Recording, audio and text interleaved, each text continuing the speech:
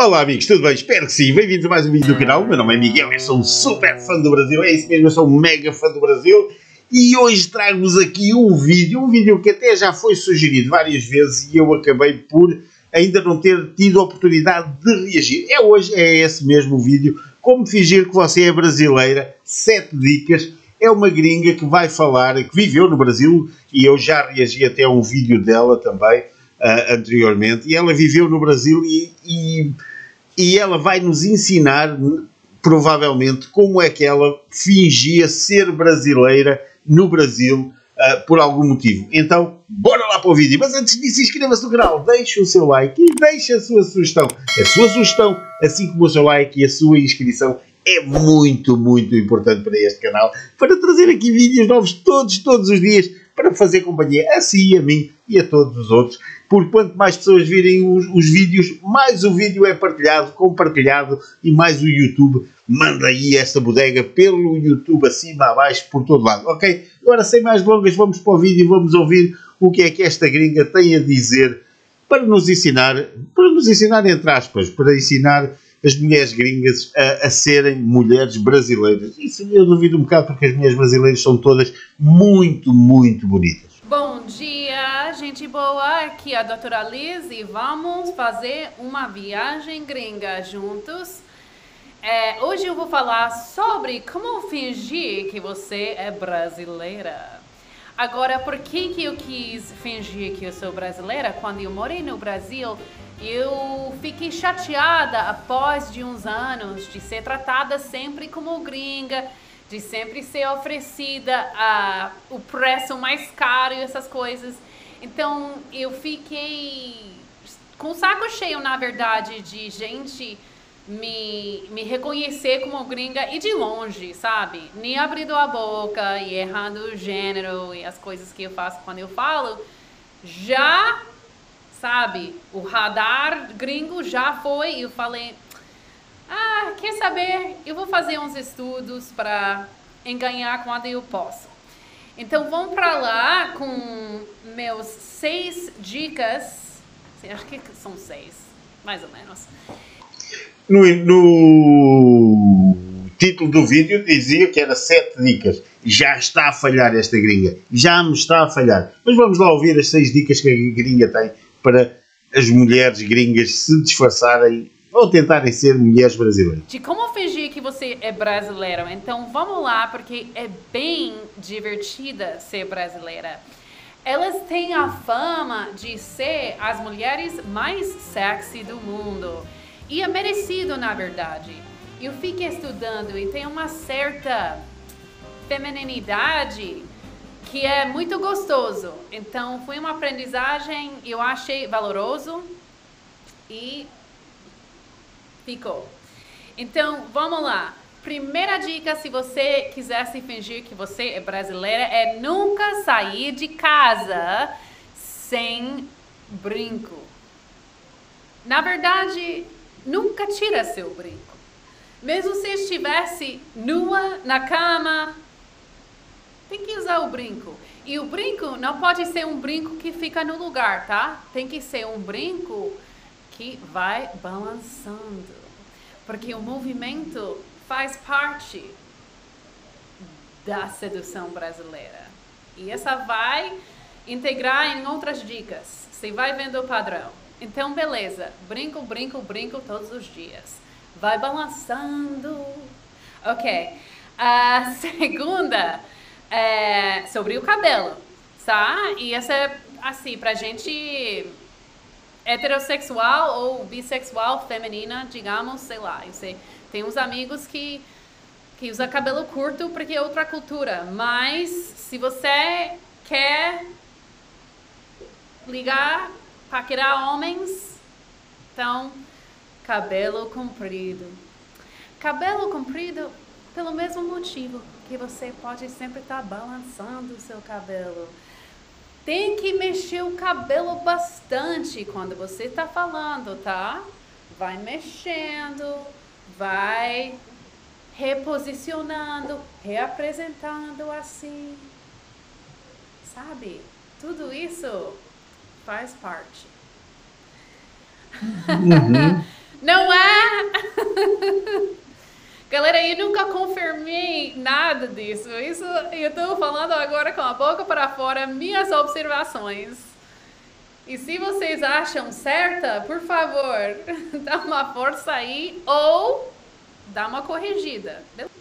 Meus amigos, é assim, é certo que as mulheres brasileiras, muitas delas, principalmente as morenas, têm cabelos pretos espetaculares, lindos, longos, muito, muito bonitos. Atenção, eu não estou a dizer que as louras não têm, só que em Portugal é assim, não, não há muita mulher loura, verdadeira, claro, um, brasileira. Nós temos aqui muito aquele moreno de pele morena e morena de cabelos pretos, muito, muito bonitos. Eu adoro cabelos, é uma das, das coisas que eu mais gosto de uma mulher e é a primeira coisa que eu vejo são os cabelos. E é assim, tem muita brasileira, para além de serem mulheres bonitas, um, tem muita brasileira que tem cabelos longos, pretos, lindíssimos, lindos, lindos, lindos. É lógico que haverá também louras e ruivas também, certamente com cabelos espetaculares, lindos, mas é assim, eu estou a falar assim, no que há mais em redor aqui, que eu convivo ao vivo e a cor um, é quase todos os dias. E é, é assim, é uma verdade. As mulheres são bonitas e um, os cabelos são muito, muito bem cuidados. Beleza, estou aprendendo ainda. Terceira, vamos pela mão, ok? A mão, a galera usa muito quando tá falando né? Sempre tem que estar tá mexendo. E tem gestos brasileiros que faz uma grande parte de português, né? Porque você pode falar com seu amigo no outro lado da sala, sabe? Vamos embora. Vamos ficar junto. Sei lá, é muito útil e é muito mais expressiva. E volta com aquele tema do movimento que eu estava comentando antes que faz parte da sedução, da expressão, movimento. E eu acho isso lindo porque não é dependente de idade, de, sabe, de aparência, de nada.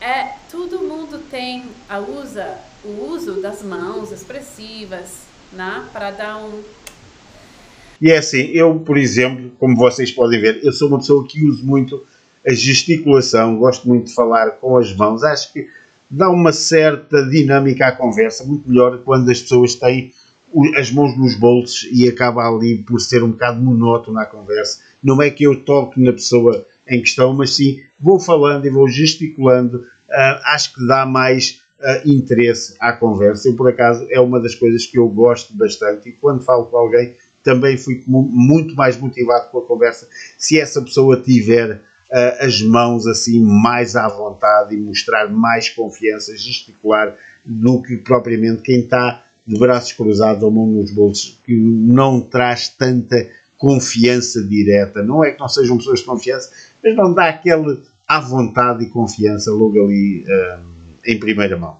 E quando a gente está falando das mãos, a gente tem que comentar no quarto dica, que é a unha.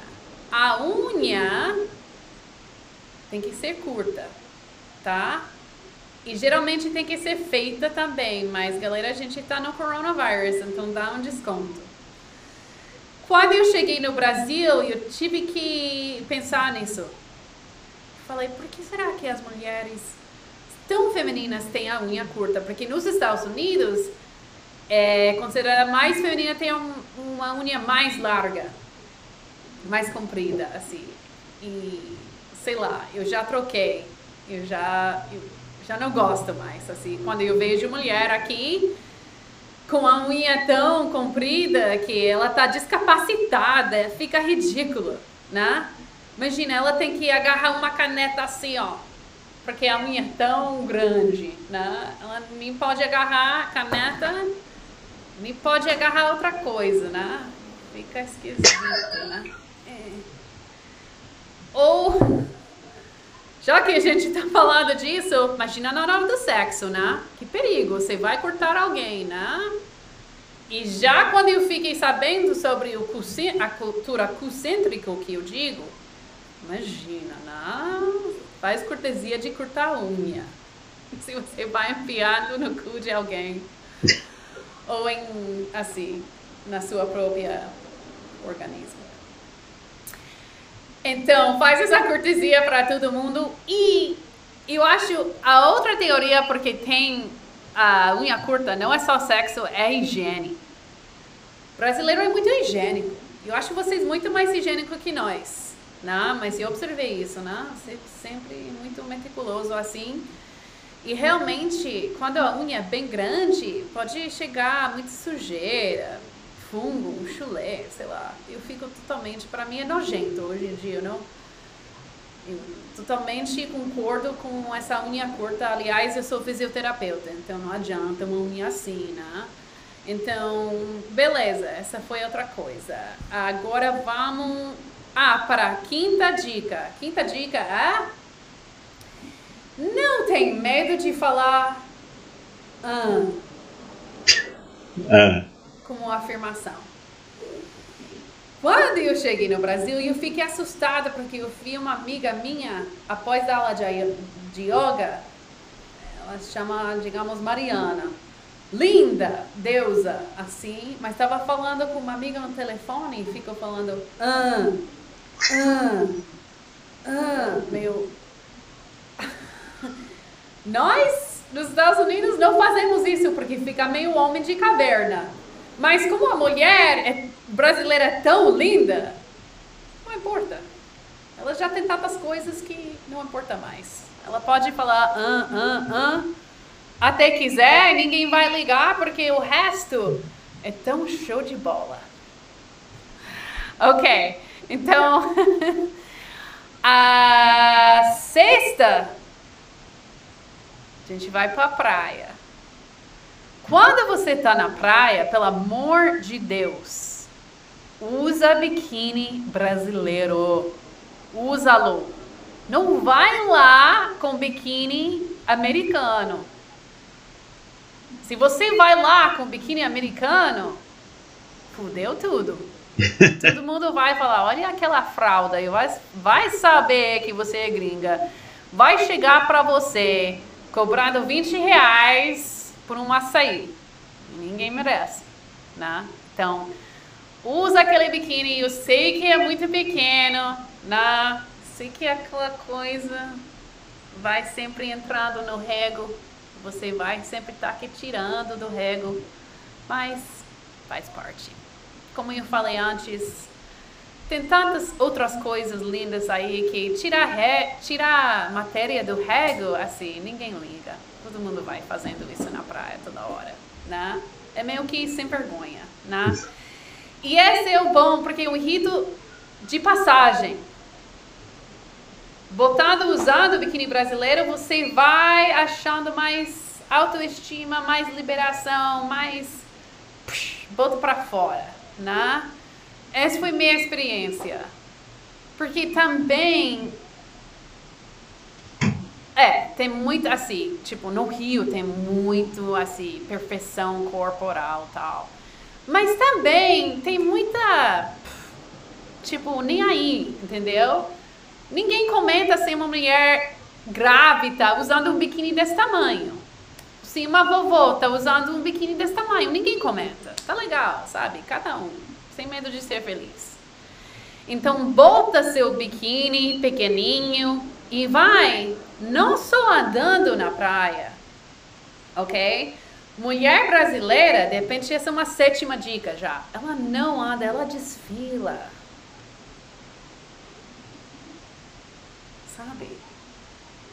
Again, de novo, aquele tema de movimento é fundamental. Né? Se você estivesse até uma, uma musiquinha na cabeça. Tá,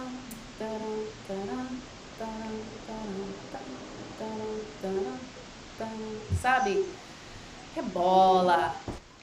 Ah, como é que é, galera? Esta gringa está tá certa, está louca, tá, como é que é? Eu acho que de certa forma ela até está certa e é bom, é bom ouvir estas opiniões de quem já morou e de gringos que passaram pelo Brasil e que têm esta paixão ainda pelo Brasil e que gostam das coisas do Brasil. É assim, este canal é mesmo para isso, para mostrar a todo mundo que o Brasil é um grande país, é um grande país mesmo para as pessoas irem, nem que seja um mês, dois meses, três meses, umas férias, ou então fazerem como segunda residência para uh, aliviarem, para tirar o stress, para, para viver boas experiências. Eu sei que para isso é preciso ter alguma capacidade financeira, mas é assim, é, é, é, é, é tudo, é uma cura divinal estar no Brasil. Eu espero em breve poder, um, ou num futuro breve, poder ir, poder estar e poder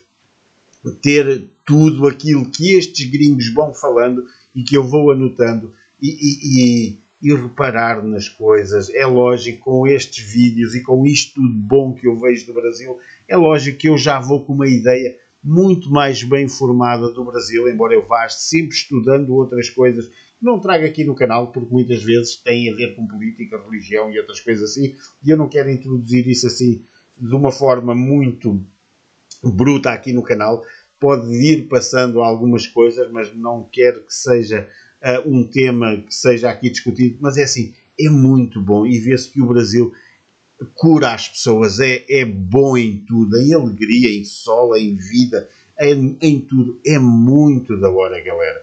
Por isso eu acho que esta, esta brasileira, além, é, brasileira não, desculpe, esta gringa, além de ser assim um pouco louca, um pouco um, assim na forma de falar e de rir e coisa, ser uma pessoa muito, muito bem disposta, eu acho que isso já se deve a ela ter vivido nesse belo país, no Brasil, e é assim, ficou uma pessoa bem melhor, pelo menos eu adoro ver os vídeos dela, já vi vários vídeos dela, e é muito bom o que ela diz acerca desse país. Por isso, vamos lá continuar a ver o vídeo, o resto do vídeo que já falta pouco, para nós uh, sabermos o resto das opiniões desta jovem senhora.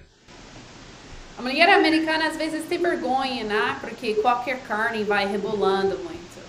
Mas o quanto mais que sua carne vai rebolando, quanto mais legal. Deixa pra fora, deixa rebolar mesmo, sabe? Quando você andando, parou e a bunda ainda. Sabe? A galera adora. Então, não fica se, se recolhendo assim né? Fica botando para fora, para fora. Né? Isso para mim foi uma experiência muito curativa, meio que sarou o coração. Eu, eu criei muito tímida, fiquei compensando, estudando teatro num facul, mas de criança, muito tímida, muito recolhida. Entendeu? Através da yoga, teatro e muitas coisas, fui aprendendo como me soltar. E Brasil também, fundamental na minha jornada, na minha transformação espiritual. Então eu sou muito grato para vocês, porque não foi só uma aprendizagem de como ser mais sexy, mas também como ser mais feliz e mais é, self-assured, mais é, Agora me pegou. Mais segura em mim mesma. então, muito obrigada por ouvir, gente. Se vocês tivessem mais uma dica de como fingir de ser brasileira ou qualquer outro comentário, se vocês quisessem saber sobre mais sobre minha experiência no Brasil tal, por favor, entre em comunicação, dá um comment, dá um like, dá um subscribe, porque assim eu posso fazer mais vídeos ainda. E muito obrigada por assistir mais uma viagem gringa para viajar comigo. Beijo. E é assim, meus amores, é, como eu digo e muita gente diz, ah, você exagera, Portugal. Você acabou, é assim, é lógico, ela já morou no Brasil, eu nunca morei no Brasil, como vocês sabem, mas é assim, nem nunca estive no Brasil. Vocês ouviram estas palavras dela, que ela aprendeu muito, amadureceu muito e aprendeu a ser ela, ter uh, um super controle, ser mais, um, mais mulher. Ela aprendeu isso no Brasil. Por isso, meus amigos, Brasil é Brasil e o resto do mundo é paisagem. Toma resto do mundo. É isso mesmo. Se você gostou do vídeo, deixa aí o like, deixa a sua sugestão para mais vídeos e inscreva-se no canal porque não dói nada e é grátis e ajuda muito para estes vídeos serem recomendados aí pelo YouTube acima, ok? Não se esqueça de compartilhar, partilhar aí nas suas redes sociais, é onde você quiser, ok? Muito da hora se você fizer isso aqui com o Portuga. Então, até o próximo vídeo. Bye!